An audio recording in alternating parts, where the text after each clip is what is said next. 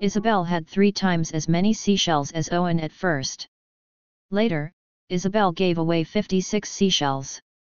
As a result, Isabel had 16 seashells fewer than Owen. How many seashells did Owen have?